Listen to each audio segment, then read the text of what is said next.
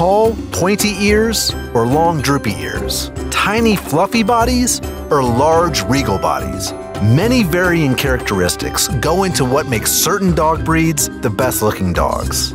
All dog puppies are cute, but we took some of the most popular choices out there to develop this list of the 10 dog breeds that have the cutest puppies.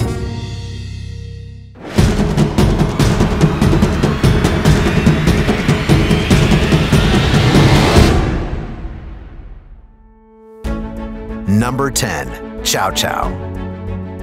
Ever wanted a baby lion only to have your landlord say no? A Chow Chow puppy might just be the answer.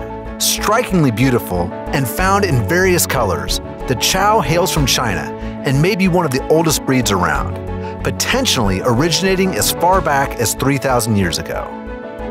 Nicknamed the Songshi which translates to puffy lion dog, a newborn Chow is an infinitely huggable furball, but also has its share of quirks. Number 9. French Bulldog Cuter, smaller, and less grumpy looking than their English cousins, the French Bulldog is not a pup to be ignored. Actually, a dog of English heritage, the Bouledogue Francais, began as a toy-sized variant of the English Bulldog and gained its name when it found an easily earned popularity across the channel.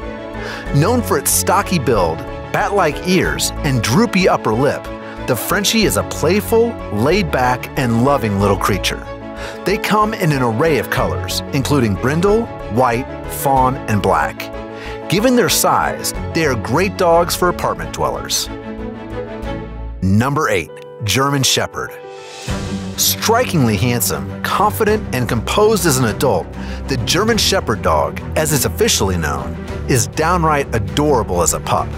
While it's tough to imagine these little furballs growing up to be canine law enforcement agents, the image of one in a police hat is pretty cute. Roughly 15,000 registered purebred German Shepherds are born each year in Germany alone. Around the world, they can be found in a range of colors, including mixes of black, tan, white, red, blue, gray, or even a panda pattern. As a bonus, German Shepherd dogs are hyper intelligent and have the potential to learn most tricks within the first five tries. Number 7. Newfoundland.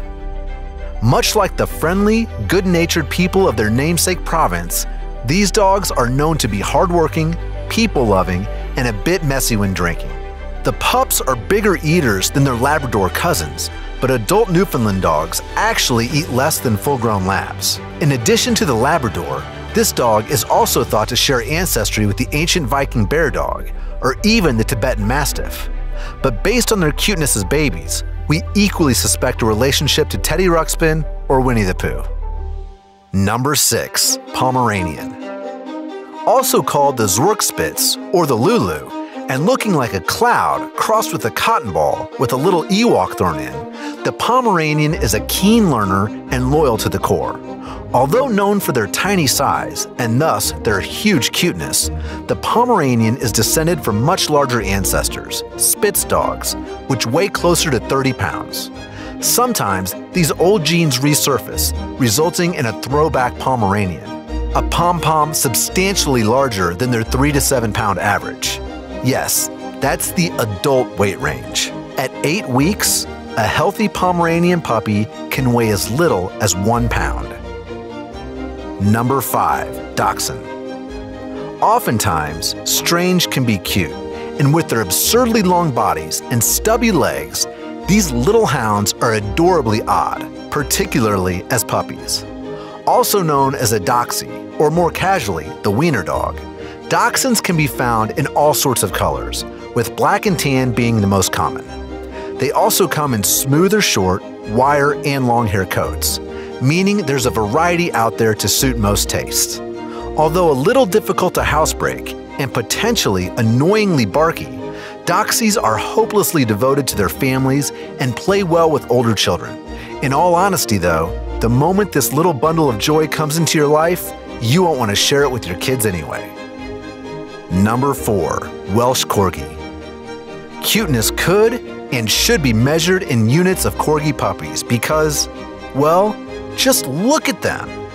Welsh for dwarf dog, corgis come in two equally adorable variations the Pembroke and the Cardigan.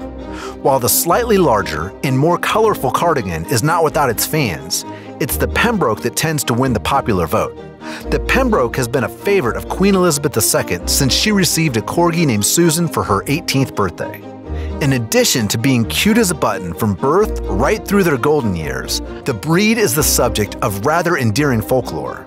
According to legend, corgis were the traditional steeds of woodland fairies and were eventually introduced to humans as a gift.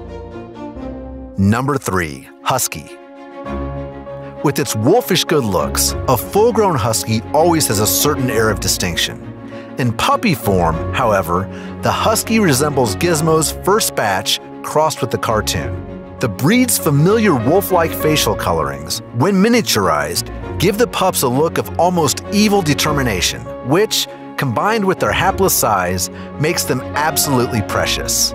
Although hard to housebreak, Huskies make up for it with a natural playfulness, a trait they often carry from puppyhood to maturity. Quite frankly, they can be crazy energetic, so one shouldn't be surprised to see a husky puppy bouncing here, there, and everywhere in search of adventure and mischievous fun. Number 2. Bernese Mountain Dog A modern descendant of the Roman Molosser dog, the Berner Sennenhund, as it's known in German, is a complex breed. Despite their eventual massive size, these Swiss pups can be rather sensitive, prone to separation anxiety, and even intimidated by beards. Can you say heartbreakingly shy?